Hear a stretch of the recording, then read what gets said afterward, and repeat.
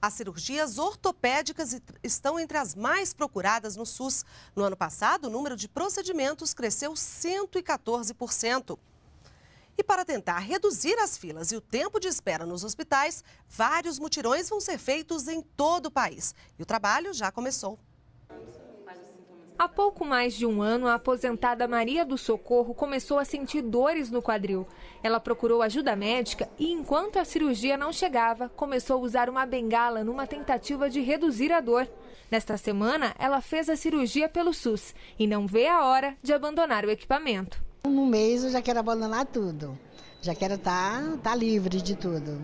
A cirurgia da moradora do Distrito Federal só se tornou realidade porque existe um recurso para procedimentos de média e alta complexidade. Neste ano, o Ministério da Saúde repassou 650 milhões de reais a estados e municípios. A maior parte deste valor, 420 milhões de reais, foi direcionada a cirurgias ortopédicas e outros procedimentos. As cirurgias ortopédicas estão entre as mais procuradas no SUS e a demanda está relacionada ao aumento de acidentes no trânsito.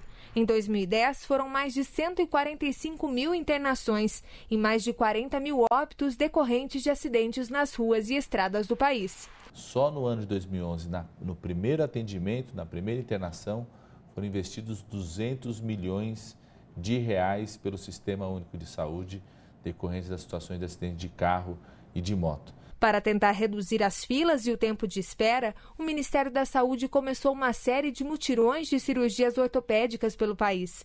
As cidades de Curitiba, Porto Velho, São Paulo e Paraíba do Sul, no Rio de Janeiro, realizaram as ações esta semana. No ano passado, o número desse tipo de cirurgia aumentou 114%.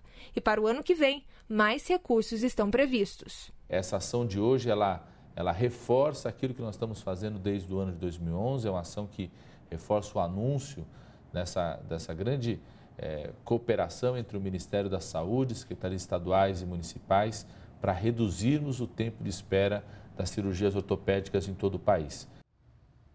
Só este ano já foram realizadas mais de 150 mil cirurgias ortopédicas pelo SUS em todo o país.